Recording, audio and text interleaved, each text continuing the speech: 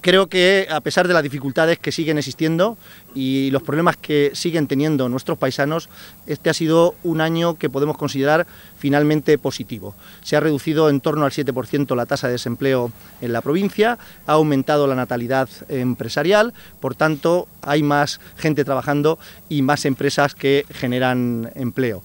Y esto a la Diputación sin duda nos anima a seguir empujando, a seguir en definitiva contribuyendo con un presupuesto que es moderado a la mejora de las condiciones de vida de nuestros paisanos. Nuestra prioridad ha sido el empleo y lo ha sido a través del plan de empleo que hemos gestionado junto con el Gobierno de Castilla-La Mancha y con los ayuntamientos.